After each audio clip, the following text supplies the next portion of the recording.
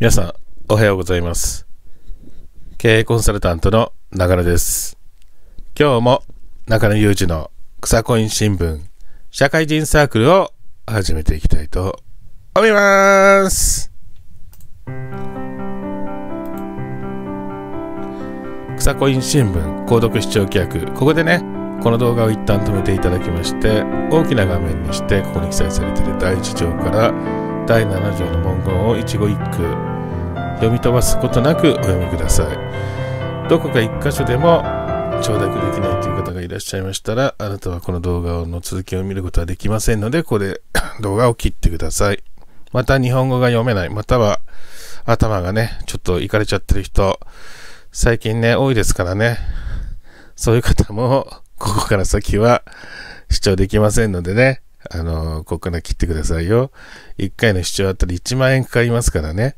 もうあなたは何千万ってお金を支払わなくちゃいけないので、まあ、刑事罰でね刑務所に行く前にお金を支払ってください。まあそう言ってもね、そういう人はお金がそもそもないからね、いろんなあの危険な行動行動しますからね、何を言ったってダメでしょうね。地獄の目視録ですね。ああ、かわいそうだなと思います。それではね、行きたいと思います。LINE に登録してくださいね。そして、この動画の感想をお寄せください。ステッカーを販売しております。LINE でお問い合わせください。令和2年9月27日日曜日、草コイン新聞 FX 中野研究会。えー今日のね、千葉県松戸市は晴れてますね。薄曇りですが、晴れ間が覗いてます。僕もね、あの午後から洗濯を始めてですね、えー溜まった洗濯をうん外に干していきたいと思います。またね、かねてからですね、原案だった布団セットを購入する件なんですが、えー結局あの楽天の方でねトゥルースリーパーがあの半額セールで売ってるってことなのでトゥルースリーパーの布団セット、まあ、結構数万円するんだよね半額って言ったってね。ワンセット数万円するんだけどまあ超高価な、えー布団セットトゥルースリーパーですね。にを購入しました。もうね注文してもう届きます、えー家にね届くのがすごく楽しみになってきました。本当にね最近はあの日中から寒いんでね家の中もね。あのそろそろ本格的な布団がないと、えー風邪をひいてしまうということになります、えー今日のね本題に入る前にですね、えーニュースで、えーちょっとね 話題になってましたけどもたあの女優の竹内さんですね。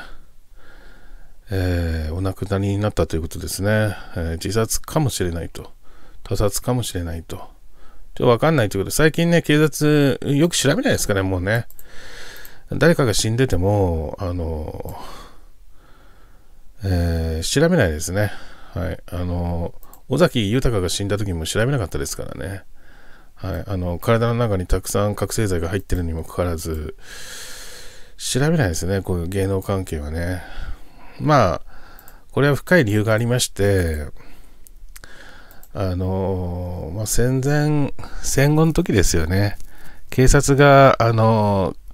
まあ、日本がですね、あのポツダム宣言を受諾してですね、え無条件降伏をしたんですよね。その時に、まあ、日本に在留している中国人とか韓国、北朝鮮、あ朝鮮人、まあアメリ、アメリカ人もいますよね。まあ、いろんな人種がですね、人種とか政治団体、えあとはマフィアなんかが、えー暴れ出すんじゃないかと。あともちろん、まあ、諸外国からもね、たくさん民族が入ってきますから、政治団体とかね、えーあとはマフィアとか、入ってきますから、ヤクザとかね、暴れ出すんじゃないかと。で、もちろん日本は降伏しちゃってますから、あの、軍隊はないしね、で、警察権力ももうほとんどない状態で、えーどうやって日本民族を守ろうかっていうことでですね、えー大日本帝国はですね、あの、日本全国の暴力ヤクザと暴力団に頼んだんだよね。はい。外国からの、そういう締め付け、あの、やからに、やから排除に対してね、まあ、その、えー、バーターがあるもんですから、あの、まあ、こういうね、あの、意味不明な死亡についてはですね、えー、警察は調べないという、ことになって、今、未だになってるんですよね。だから未だに暴力団は生きてるし、ヤクザも生きてると。あのまあ、そういうパターン。だから、皆さん殺されてもですね、警察は調べないですからね。気をつけないといけないですね、これはね。自殺するわけないですからね。子供今年産んでますからね。えー、2人今年産んでますからね。まあ、あとはもう一つ言えることは、まあ、結局あれでしょうね、これね。あの芸能界でお金がなくなってますからね、テレビ局にですね、テレビ CM を出す民間企業が本当に少なくなっちゃってますからね。まあ、だから電通なんかも売り上げがた落ちですし、テレビ局も、えー、放送枠がなかなか買え、買って もらえないからとんでもない田舎のね、あの、商品を日中からテレビ CM 流してたりしますけれども、まあ、テレビ局も CM 広告料が手に入んなくなってますから、もちろんそれは Google の YouTube も一緒でね、YouTuber の人たちは、だいたい Google からもらうですね、広告費が、まあ、だいたい6割から7割ぐらいになっちゃってるかもしれないですね。で、まあ、あの芸能事務所なんかも売上型落ちで、えー、まあ、あのそういうところで、あの構想がね、お金がないっていうことで構想が、まあ、闇の世界との構想があって、金払ってねえじゃねえかってことで、えー、祭り上げられたのかもしれないですね。とにかくまあ、ここのところ、あの、勢いのある芸能人がどんどん、まあ、死んで、死んでますからね。えー、皆さんも気をつけなくちゃいけないんじゃないかなと思いますね。まあ、ここら辺は警察調べないですね、これ以上はね。はい。調べないと思います。それはもう力学があるんですよね。あの、戦戦後力学があるんで、警察と暴力団、ヤクザとの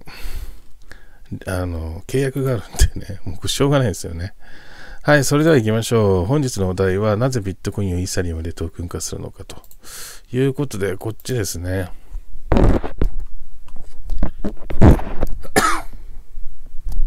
コインデスクさんの ニュース記事を読んでみましょうと。えー、驚いたことにビットコインはイーサリアムブロックチェーンで展開される DeFi、えー、分散型金融時代の大人気スターになっていると。やっぱり DeFi っていうのがやっぱり 今のキーワードですね。えー、分散型金融はもうあの終わったとか言ってる人いるんだけど、何言ってんのって。まだ始まってないよって感じですけどね。で、これは9月24日木曜日の記事で、今から3日前の記事ですね。まだ新しいです。で、これすごい難しいのでね、記事の内容が、あの、多分理解できてる人いないと思います。えー、トークン化されたビットコイン、まあ、と、ね、えっ、ー、と、ビットコインをイーサリアムで、えー、トークン化するブロックチェーンで展開される DeFi でトークン化するんですよね。ビットコインをイーサリアムで包むわけですよ。あの、カプセル化するわけね。で、それ、そうすると、あの、分散型 DeFi になると。でビットコイン DeFi になっちゃうわけですよね。だから、ビットコインが分散型ブロックチェーンになっちゃうんだよ、そのままね。これすごい便利ですね。えー、トークン化されたビットコインは双方のブロックチェーンの一番のメリット、ビットコインの価格とブランド力、イーサリアムのプログラムビリティ、プログラム可能であることを合わせ持つ重要な高いトークンだと。まあだからイーサリアムっていうのは、あのー、いろいろプログラムを組むことができるんでね、ブロックチェーンの中にね。で、その、その機能を使って分散型、え ブロックチェーンのプログラムを書いたと。イーサリアムのね、プログラム可能の中中でね。だから、えー、イーサリアムでビットコインを DeFi できると。分散型ブロックチェーンできるということになってまして、それが今すごい、えー、爆裂しててですね。で、最近またブロック、あのビットコイン上がってきたじゃないですか、価格が。ビットコイン価格がちょこっとね、こうちょこっと上がってますよね。まあ、ドーンとまた下がって上がってますよね。これなんで上がってんのって言ったら、ビットコイン DeFi のおかげですよね。で、先週暗号資産仮想通貨決済会社のビットゴーが手掛ける、えー、WBTC、だからラップと BTC でラッピングしたんですよね。これはクレラップのラッピングですよね。ラップとビットコインの供給量は週の最多記録を更新し約2万1000近くに達したと。現在、あの総供給量は7万6000を超えている。データサイトの、あ、ごめん。えー、デューアナリスアナリティクスによると、その前の週の供給量は1万2200を超え、過去最高を記録したばかりだと。トークン化されたビットコインは DeFi における最大の資産の一つになっており、全体で10万7000ビットコイン約11億ドル相当が7つの発行元でトークン化されているレンディング、融資サービスの BlockFi のような他の選択肢よりも高いリターンで多くの人を引きつけていると。なぜトークン化されたビットコインを使うのか、イーサリアム、ブロックチェーン上のビットコインが行っていることはシンプル。ユニスワップのような成長中の分散型取引所 DEX に、え流通性を提供し、利回りを稼ぐことが目的だ。えー、コインデスクが20によると、ビットコインの現在の時価総額はイーサリアムの5倍に上る。トークン化されたビットコインを使うことで、投資家はイーサリアムと DEX 市場に、え大きな価値をもたらすことができると。 DeFi 分散型金融は従来の中央集権型 CEX と CO と比べると極めて未成熟と考えられている。このことは、えー、異なる DeFi 市場間で取引価格の差が大きいことからもわかると。えー、市場における価格差はトレーダーに利用されることになる、いわゆる裁定取引だ。えー、WBTC は裁定取引を行う投資家にしばしば選択される資産となっていると。うん。ビットコインは価格,、えー、価格価値が大きい大きな資産を取り扱うことで、 DeFi プラットフォーム自体はより強固なものになる。しかし、ビットコインのトークン化にはリスクが伴う。またトークン化されたビットコインには複数の活形態があると。はい、それで、ちょっとなんかくだらないことばっかり喋ってるね、これね。えー、トークン化されたビットコインの安全性、トークン化の手法が違えば安全性も違ってくる。トークン化されたビットコインの場合、安全性はカストディ。保管と担保の方法による現在では3つのタイプがあると。えー、WBTC のような中央集権型 TBTC のような担保付きのスマートコントラコントラストシステム分散型、そして SBTC のような、えー、合成資産型だと。なんかめんどくさくなってきたね、これね。えー、ということでね、あのー、まあ、こういうやり方もあるよってことなんだけれども、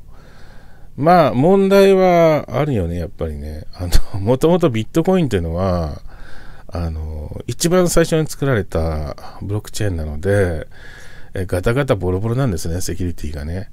で、ビットコインってやっぱり使えないよねって、そのままじゃ使えないよねってことで、えー、ビットコイン以外の仮想通貨、まあ、イーサリアムとかリップルとかね、えー、ネムとかネオとかいろんなものできてきました。そして、えー、次にですね、そのイーサリアムとかね、リップルとか、まあ、そういうものも含めて、やっぱりその量子コンピューターがね、そろそろ開発されるから、暗号ってどんなね、強力な暗号でも一瞬で解けてしまうよと。解読されてしまうから、やっぱり、あの、仮想通貨って全部ダメだねって話になったんですね。それで DEX、まあ、分あの暗号鍵を分散して保管すれば絶対大丈夫だってことで、これは大丈夫なんですけど、っていうかね、2000年時代ね、このぶああの公開鍵暗号方式の秘密鍵を分散化して管理するアイデアっていうのは、実はこれ僕が考えたんですよ。僕が考えたんですよ。2000, 2000年に考えたんですよ。はい。本当です、これは。僕が考えたんです。で、今頃になってね、あの、DEX とか言ってますけれども、僕は暗号、暗号の専門家なんでね、あの、思い出しました。20年前ですよ。びっくりしたよ。これ何言ってんのかなと思ったら、あの、公開鍵暗号方式のあの秘密鍵と公開鍵ってあるんですけど、公開鍵は、えー、認証局があの公開してるんですよね。秘密鍵は自分で持ってなくちゃいけなくて、秘密鍵を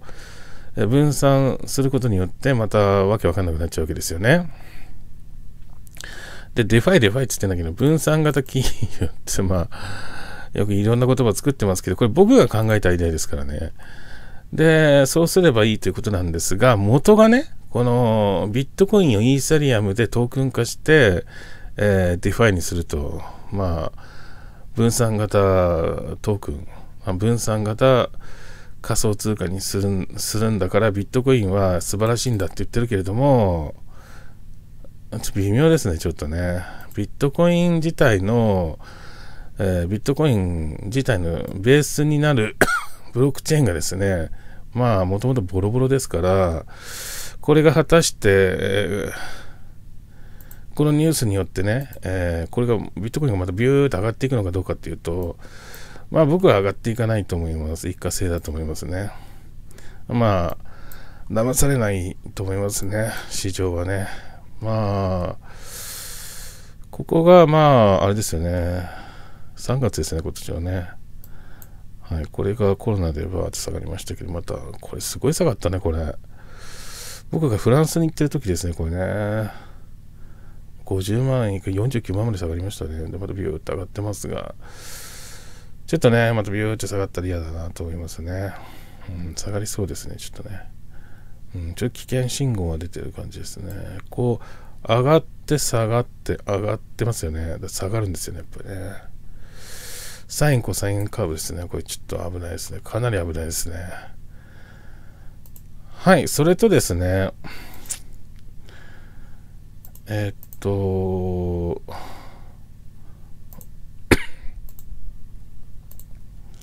まあ、物の本質っていうのは見極めないといけないよね、やっぱりね。物の本質っていうのはね、見極めないといけないと思います。あと、ヨーロッパの方でですね、リブラですね、EU がデジタル通貨規制案公表、リブラ念頭で厳格な監視体制ということで、やっぱりリブラ強いですね。あの、まあアメリカも、アメリカなんか完全にリブラですし、あの EU, EU に張り込んでますね、Facebook のリブラが完全にリブラで、えー、デジタル通貨を行いますよと EU, EU ですね、EU のユーロ、ユーロがもうリブラになっちゃうってことですね。だからもうリブラなんだね。日本円もリブラだし、全世界リブラなんだね、これね。だから、リップル、まあ本当はリップルじゃなくちゃいけなかったんだけど、なぜかリブラに取って変わっちゃったじゃないですか。だからリップルの存在感が、まあ、存在価値をどういう、どういうふうにしていくのかなっていうのが、まあリップルを保有してる人っていうのは心配があると思いますね。うん。お、な変わりましたかこれ。おなんか画面表記が変わりましたね、これね。コインマーケット、コインマーケットキャップね、ちょっと見にくくなりましたね、これ。リップルが25円66銭ですよね。これがまたね、10円とか5円とか1円とか0.5円とかなっちゃって嫌ですよね、やっぱね。うん。すごい見にくくなりましたね、コインマーケットキャップがね。台とか結構草コイン来てますね。すげえよくわかんないのいっぱい来てますね。ダッシュイオタなんかすごい下がってますしね。で、体の枝は、えー、10円27か。うん、まあ、買うんだったら今だと思いますね。これね、安い範囲に入ってますからね。うん、ちょっと何かっていうか分かんないですね。今買うべきなのかもどうかも分かんないですね。仮想通貨はね。非常に難しい時に来てるかと思います。はい。あとビットコイン FX やってる人はね、これ、まあ、1分足で見てたり、5分足で見てたりっていう、1分足では見てないでしょうけど、まあ、5分足で見てたりね、する人は多いと思いますが、うん、ちょっとわかんないですね、どっち行くかね。うん、今わかんないですね、完全にね。うん。まあ下でしょうねこれね。うんちょっとねこれ以上いかないでしょうね上ね。はいということで、えー、今回は DeFi ですね。え、ビットコインをインスタリアムでトークン化して、えー、分散型トークンにしたらどうなるかって話をさせていただきました。それでは今日はこれで終わりにさせていただきます。千葉県松戸市よりトム・クルーズがお伝えいたしました。失礼いたします。